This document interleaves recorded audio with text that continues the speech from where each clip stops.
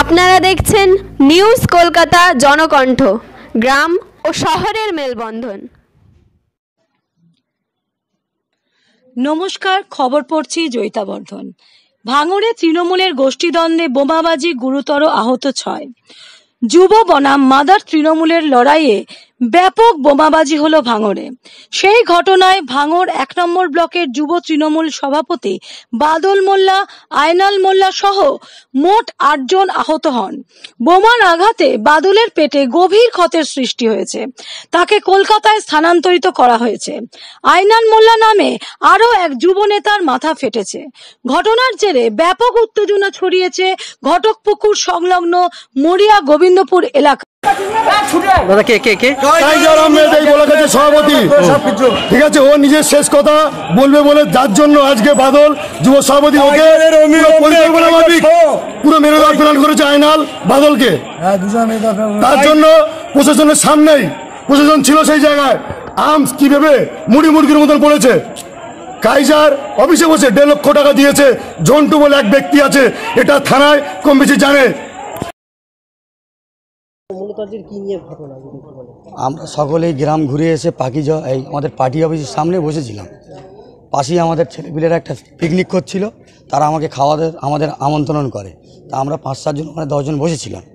আমরা জাস্ট খেতে গেছি। ইন দ্য মিন টাইমে দুমদাম করে নিশ্চয় অটোর সামনে বোম পড়ে। মূলত? ফেলেছে আমরা যতদূর দেখেছি অনেকজনেই ছিল কুড়ি বাইশ জন কিন্তু আমরা আট দশজনকে দেখতে পেয়েছিলাম। পুলিশের উপস্থিতিতে। সেটা হচ্ছে মজিদ মোল্লার ছেলে খোকন শান্টু বলে একজন আছে নাসির বলে একজন আছে আব্দুল খয়ের বলে একজন আছে সাইফুদ্দিন বলে একজন আছে।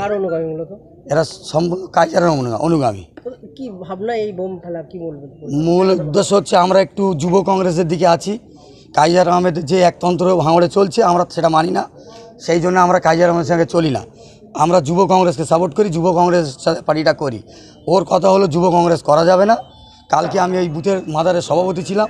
আমার সভাপতিটাও কালকে কেটে দিয়েছে এই যুব কংগ্রেস করার অপরাধে। আমাদের সুপারভাইজারকে সুপারভাইজার থেকে সরিয়ে দিয়েছে যুব কংগ্রেস করার অপরাধে। মানে ওর কাছে কত হলো যুব কংগ্রেস করা যাবে না। তৃণমূল কংগ্রেস করো আমার সঙ্গে করো। আমি যেটা বলব সেটা চল শুনতে হবে তোমাদের। এইরকম ওর ব্যাপার। আজকে আক্রমণের কারণ আমরা যখন বসে আছি ওই আমাদের বাদল সাহেব আয়নাল সাহেব এরা গেছে দেখতে।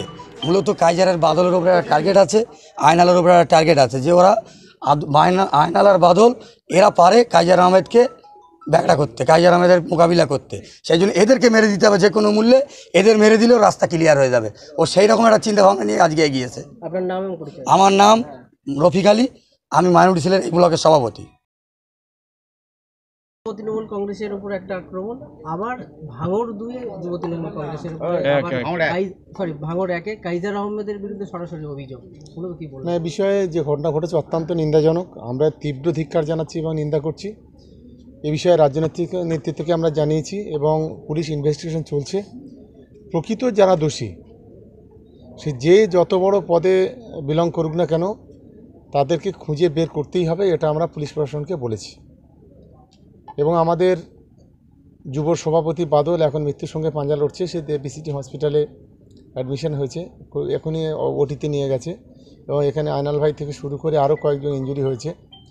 আমরা এর দৃষ্টান্তমূলক শাস্তি চাই। তো যুব তৃণমূলে কতজন মতন আহত আছে এ পর্যন্ত প্রায় সাতজন ইঞ্জুরি হয়েছে মানে মেজর ইঞ্জুরি হয়েছে এবং বাদবাকি আরও কয়েকজন নর্মাল ইঞ্জুরি হয়েছে। এই বিষয়ে কি থানায় অভিযোগ দায়ের করবে? এখন অভিযোগ হয় এখন অবস্থা এই কন্ডিশন তো বাদলের অবস্থা খুবই খারাপ। অবশ্যই অভিযোগ তো হবেই।